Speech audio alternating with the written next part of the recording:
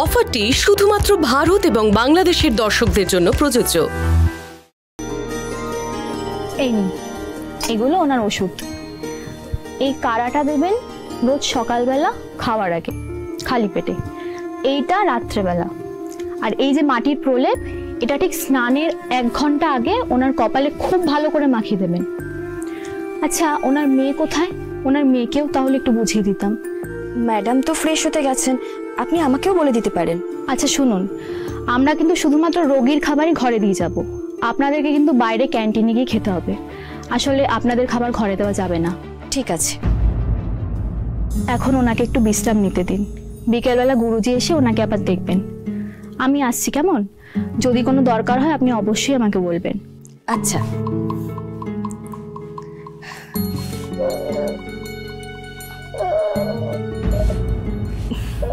কি হলো ম্যাডাম কারাটা খেতে খুব বাজে, তাই তো?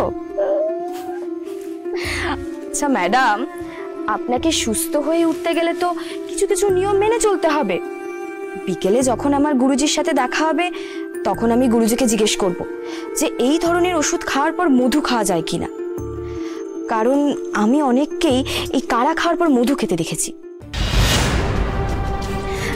না ম্যাডাম আসলে আমার বাড়িও তো গ্রামে আর গ্রামের লোকেরা এই অ্যালোপ্যাথি চিকিৎসার থেকে আয়ুর্বেদিক চিকিৎসায় বেশি ভরসা রাখে। তাই কিছু হলে ওনারা এই ধরনের ওষুধই খায়। তারপর মধু খায়, তাই বলছিলাম। নিন ম্যাডাম, এবার আপনি বিশ্রাম নিন।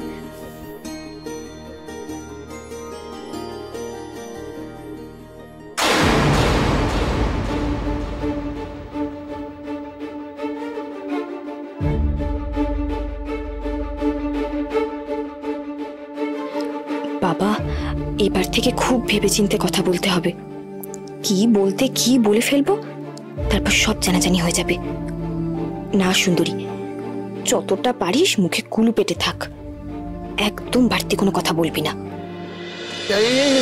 শোন। আরে আমাদেরকে এখানে বসিয়ে রেখে তোর মা কোথায় গেল? মা মা তো পিসির ওখানে গেছে। মানে সুন্দরীদের বাড়িতে গেছে? হ্যাঁ।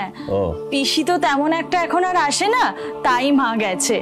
আসলে ঠাম্মি তো হাসপাতালে ভর্তি সুন্দরীও নেই। আর পিসিও দোকানটা বিক্রি করার পর থেকে সব সময় কেমন যেন একটা মন মরা হয়ে থাকে। কারুর বাড়িতে টাড়িতেও যায় না। তাই মা গেছে আর কি। সে যায় ভালোই করে। আরে বে, দিদি ভাই শোন আমাকে একটা পাঁচ ছিঁড়ে দিবি? আরে তোর ওই দিদুনকে বললে তো দেবে না জানিস তো। আচ্ছা ঠিক আছে আমি যাচ্ছি। দাঁড়াও এই মালিনী এক মিনিট এক মিনিট। বলছি আপনি পানটা খাবেন? কেন? না মানে আয়ুর্বেদিক চিকিৎসায় তো অনেক কিছু বারণ থাকে। আহা পান তো আয়ুর্বেদেরই একটা অংশ। কি বলে? না মানে কি বলে তুমি? পান আয়ুর্বেদের অংশ? আর জর্দাটা? জর্দাটাও বুঝি আয়ুর্বেদের অংশ? হ্যাঁ? এই মালিনী এখানে বস। কোথাও যাবে না, পান ফান সব এখানে বস। কিচ্ছু বানাবি না। কি ব্যাপার গো তোমার? হাজার বার একটা কথা বললে তুমি শোনো না হ্যাঁ? এই বাজে অভ্যেসগুলোর জন্য না তোমার আজকে এই অবস্থা হয়েছে। নাও, ধরো, কারাটা খেয়ে নাও। আর সে না কারা খাচ্ছি। কিন্তু এই অবস্থা মানে হ্যাঁ? আচ্ছা আমি কি নিজে নিজে হাঁটুর ব্যথা করেছি নাকি? হ্যাঁ ওই গুন্ডাগুলো এসে আমাকে মারলো, তারপর থেকে তো ব্যথাটা হয়েছে। তোমার না তোমার আজকাল স্বভাব হয়ে গেছে।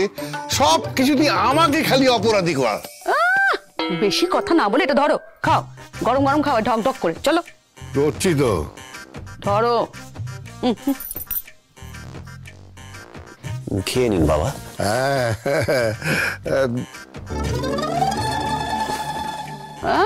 খাও খাও খাও ঢক ঢক করে খাও। একবারে খেয়ে নাও না।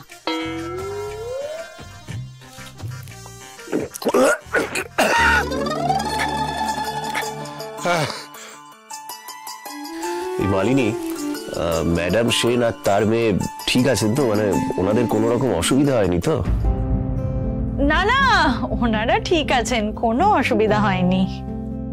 ইস হ্যাঁ ওই মহিলা তো এই কাড়াটা খেয়েই বমি করে দিয়েছিল। হ্যাঁ। আরে এই কাড়াটা যা তেতো তো খেলেই গাগুলি যায়। হ্যাঁ। আরে আমি এতবার খাচ্ছি তাদের আমার গা গোলাচ্ছে।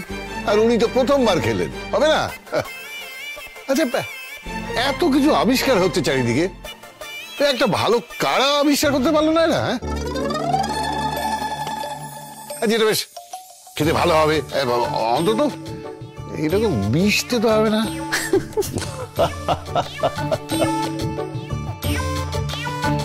আচ্ছা তুমি সবসময় কেন এরকম বলো বলো তো? তোমাকে তো এটা খেতে হচ্ছে না। হ্যাঁ। তুমি কি করে বুঝবে আমার জ্বালাটা? আচ্ছা বলছি ম্যাডাম সেনের শরীর ঠিক আছে তো? মানে অন্য কোনো কারণে ওনার বমি হয়নি তো? খবর নিয়েছিলিস তুই? গুরুদেব কি বললেন?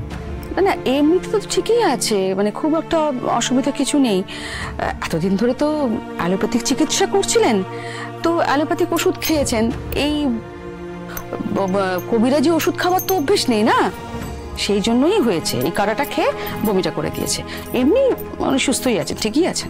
ওনার জন্য খুব কষ্ট হয়। আমি তো ওনাকে আগেও দেখেছি। অবশ্য একবারই দেখা হয়েছিল। তারপর মাঝে মাঝে কথা হতো। খুবই দাপুটে মহিলা ছিলেন। নিজের ব্যবসাটাকে একা হাতে দাঁড় করিয়েছেন। অবশ্য পরে ওনার মেয়ে হেল্প করেছিল। ব্যবসার পাশাপাশি সমাজসেবামূলক কাজও উনি করেন। ওনার একটা অনাথ আশ্রম আছে। সেখানে মেয়েদের পড়াশোনার খরচ উনি দেন। লাবণ্য মানে ওনার মেয়েকে তো উনি ওখান থেকেই দত্তক নিয়েছিলেন। সত্যি ওনাকে দেখে অনেক কিছু শেখার আছে। ওই রকম একটা মানুষ কবে থেকে হুইল চেয়ারে বসে আছে কথা পর্যন্ত বলতে পারছেন না।